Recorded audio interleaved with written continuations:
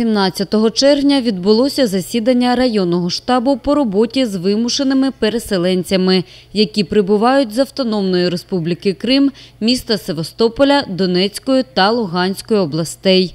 На ньому керівник штабу Олександр Баша повідомив, що зараз в районі знаходиться три сім'ї, які приїхали з територій, де ведуться бойові дії прибыли э, семьи, они прибыли семьи самостоятельно к своим родственникам на территорию э, Новобогдановского, Константиновского, Новгородковского сельского совета. И на территорию Новониколаевского сельского совета, она уже год назад прибыла семья с Изюма, она там проживает э, в селе Новониколаевка. Масових переселень поки немає. Незважаючи на це, на Мелітопольщині активно готуються до надання допомоги переселенцям. Э, Люди готовы наши самостоятельно принять там зелені садиби, руководители сельхозпредприятий, где у них есть места для размещения, Э, оздоровчий табор «Чайка» готов принять детей. Э, Наши предприниматели, у которых есть гостиничные комплексы, тоже при- готовы принять этих вымышленных переселенцев. Но если это будут старики или люди преклонного возраста, отработана схема, что мы будем их направлять или э, будем направлять в центральную районную больницу и, соответственно, размещать э, в терапевтических отделениях, которые находятся в Константиновке, э, в Терпении, или если по месту будет возникать вопрос в наших на койках лекарских амбулаторий загальної практики сімейної медицини. Важливим питанням залишається одяг та харчування для біженців.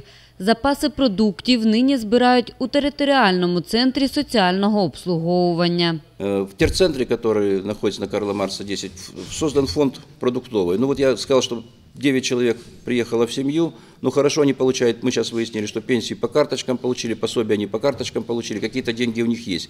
Но пройдет месяц-два, любой хозяин дополнительных, так пр- простым нашим славянским языком говоря, 10 ртов прокормить очень трудно будет. Поэтому включаться будет фонд гуманитарной помощи, который у нас создан при терцентре. И мы обращаться будем ко всем руководителям, предпринимателям а, по сбору продуктов.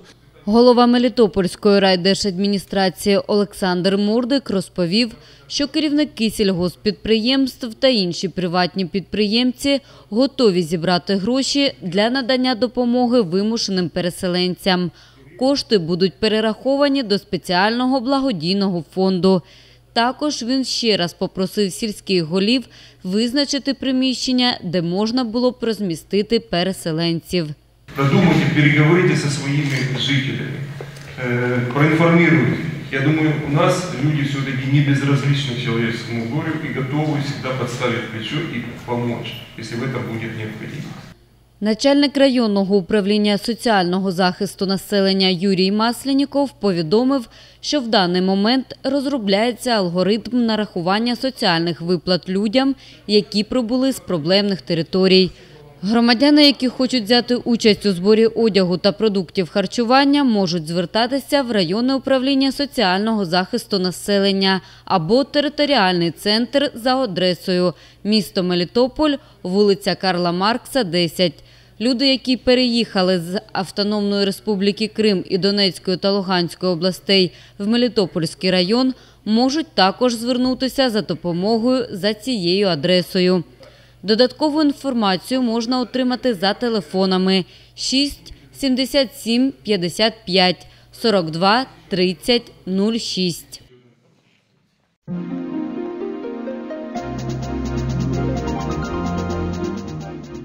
16 червня добіг кінця перший етап робіт зі спасіння молочного лиману.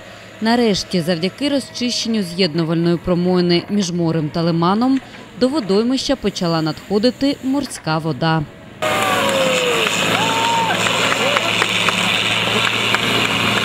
Нагадаємо, що роботи зі спасіння молочного лиману проходять під патронатом народного депутата України Євгена Балицького, який разом із ініціативною групою виділив кошти на розчистку промоїни.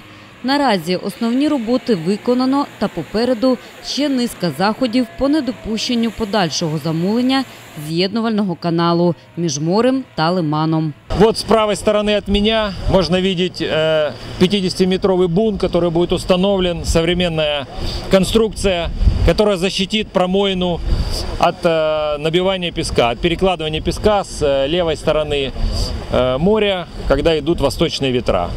Затем мы установим такую же точно с правой стороны и закроем полностью промоину от попадания в нее песка. А осенью мы на него накроем бетонное покрытие для того, чтобы защитить его от льда, от патовых льдов, которые могут его повредить. Євген Балицький розповів, що в подальшому на промойні будуть працювати земснаряди, які постійно розчищатимуть її від піску. Після заповнення лиману водою нардеп планує реалізувати другий етап з відновлення водойми. Вторая фаза заключается в том, что мы строим УЗВ, так называемое, в котором будем разводить малька, камбалу глоса и осетрину для того, чтобы выпускать ее в лиман. Проект уже готов. Ну, надеемся, что это будет в ближайшее время. Первые несколько тысяч малька мы планируем в этом году запустить. Подивитися на відкриття промоїни приїхало чимало людей. Всі вони в один голос заявили, що пересихання лиману створило багато проблем у різних сферах життєдіяльності. Мы хотим возродить э, молочный лиман, который был э, нерестилищем для многих э, сортов рыб, был местом отдыха многих детей, многих поколений, которые очень множество пионерских лагерей в Алтайгире, и взрослых, и детей.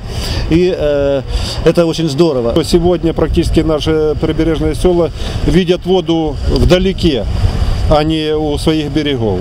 И, естественно, это решит социальную проблему в плане отдыха, в плане оздоровления и в плане, можно сказать так, э, бытовых проблем на уровне рыбалки нашего населения. Потому что практически мы знаем, что все прибрежные села, они всегда занимались э, таким, будем говорить, э, мелким промыслом и благодаря чему обеспечивали себя и свои семьи э, рыбой на территории района. Не секрет, что из 21 детского оздоровительного учреждения э, в прошлом году работало только 7. Э, Полная загрузка лагерей могла составить бы 14 тысяч детей э, в сезон, а в прошлом году оздоровили это 3,5 тысячи. И в этом году открылись только те лагеря, где есть бассейны. Присутні керівники районів, на території яких розташований молочний лиман, зазначають, що відкриття промоїни – це історична подія. Я надеюсь, что сегодняшний день э, возродит э, э, этот бассейн молочного лимана, который, ну, не знаю, уникальное у него значение и для рыб, и для птиц, и для людей, и, для природы в целом. Поэтому я думаю, что событие сегодня на самом деле историческое. Это очень грандиозное событие, которое, э, я думаю, войдет в историю, и мы долго еще будем вспоминать этот момент, когда все-таки это все произошло. Начальник дитячого оздоровчого закладу «Лісова пісня» Алла Демченко зазначає, що такий вчинок нардепа викликає повагу з боку всіх, хто розуміє важливість відновлення лиману. Мы знали, что эта работа ведется и что ну, люди не имеют нам- намерений останавливаться. А сейчас просто гордость и огромное уважение за, знаете, за то, что слова и поступки людей и очень приятно, что это народный депутат, в том числе, не расходится с делом, потому что э, доверие народа, я думаю, вот именно благодаря вот таким действиям, оно будет только укрепляться. Ініціатори розчистки промоїни сподіваються, що завдяки з'єднувальному каналу в лиман буде надходити близько одного мільйона кубів води на добу, і поступово водойма відновиться. А разом з нею почнеться друге життя унікальної флори та фауни молочного лиману. –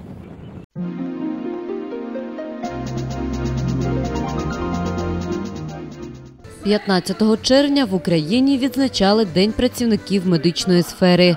Святковий день в районі вітали представників цієї професії. Першим до медичних працівників звернувся голова Мелітопольської райдержадміністрації Олександр Мордик, який наголосив на важливості праці людей у білих халатах та висловив їм щиру вдячність.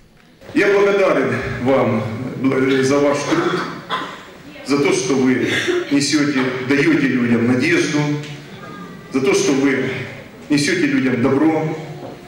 Я поздравляю вас с праздником, а вам тоже желаю здоровья, благополучия, добра и мира. До привітань також приєднався голова Мелітопольської районної ради Юрій Єсипенко.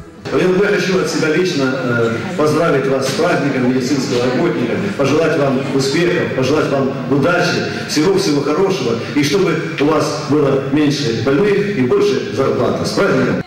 Святковий день багато теплих слів лунало на адресу всіх працівників медичної галузі від лікаря до санітарки, бо саме від їхньої професійності та оперативної роботи залежить не тільки здоров'я, а й життя пацієнтів. Заступник голови районної ради Володимир Білов підкреслив, що медичні працівники району були і залишаються гідними представниками професії.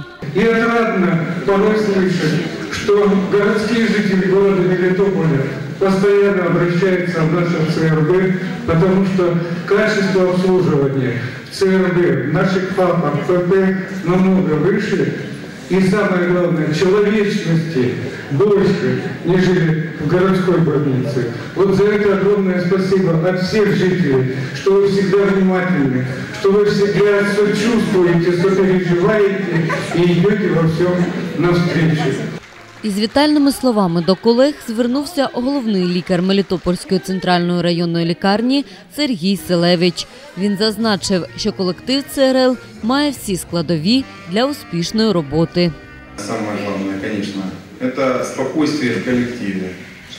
Тогда будет слаженная работа, понимаете, когда есть единомышленники, когда работают в системе здравоохранения, понимаете, чуткие люди и абсолютно неравнодушные. Когда есть мир, злагода, добробут. Понимаете, и все это присуще абсолютно верно нам.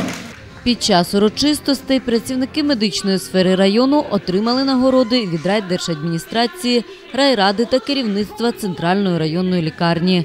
Грамотою Міністерства охорони здоров'я була нагороджена завідуюча фельдшерським пунктом у селі Нове Зінаїда Лютікова.